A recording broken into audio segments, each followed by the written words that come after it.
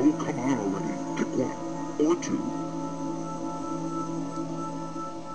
Time is up. Goodbye.